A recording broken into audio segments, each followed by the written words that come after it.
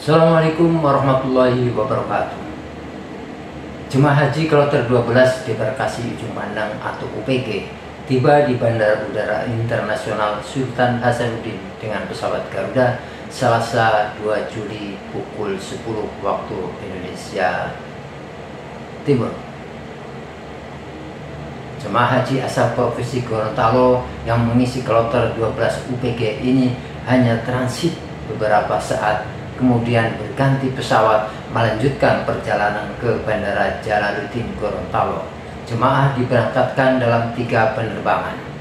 Adapun jamaah kloter 12 UPG ini berasal dari kota Gorontalo, 209 orang, Kabupaten Bone, Kabupaten Bone Bolango 117 orang, Kabupaten Gorontalo Utara 40 orang, Kabupaten Pohuwato 77 orang, 5 petugas kloter PHD serta satu orang tanazul uh, dari, dari Kabupaten Bone berasal dari kloter 18.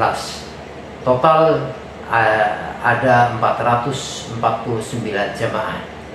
Dilaporkan juga satu jemaah kloter ini masih dirawat di Arab Saudi atas nama Muhammad Saleh Pomo, umur 64 tahun. Sekretaris PPIH Embarkasi atau Debarkasi UPG Iqbal Ismail menjelaskan, dengan kepulangan kloter 12 UPG ini, jumlah jemaah haji embarkasi UPG yang telah dipulangkan ke tanah air sebanyak 5.388 orang dari total 16.644 yang diberangkatkan ke Tanah Suci. Sementara yang wafat sebanyak 28 orang. 27 wafat di Arab Saudi dan satu orang wafat saat transit di asrama haji Sudiang Makassar.